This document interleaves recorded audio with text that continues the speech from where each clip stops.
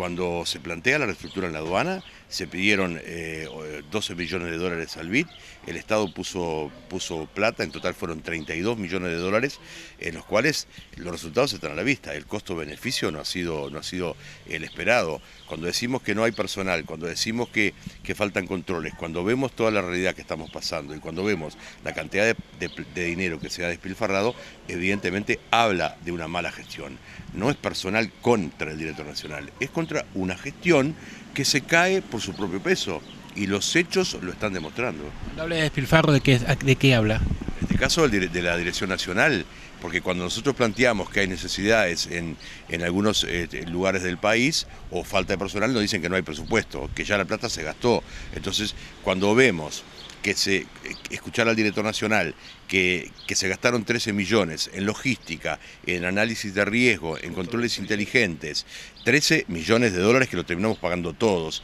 Y cuando vemos la realidad, que es que el propio director nacional dice que las fronteras son porosas, entonces eso habla de una muy mala gestión o como por ejemplo ahora en estos días con la ruta del dinero acá, cuando él dice vamos a poner la lupa a aquellos lugares donde nosotros pensamos o entendemos que puedan este, eh, entrar mercaderías. Entonces lo que está reconociendo es que no habían controles y lo que está reconociendo es que después de todo lo que se armó a, nivel de prensa y que está en el juzgado, tanto este sindicato ha presentado este, al crimen organizado y todo lo, que ustedes conocen también de lo que ha venido de, Argentina, todo el, el tema de la ruta del dinero acá, digo, bueno, habla evidentemente de, de una muy mala gestión de quien tiene la responsabilidad de llevar este barco a un buen puerto.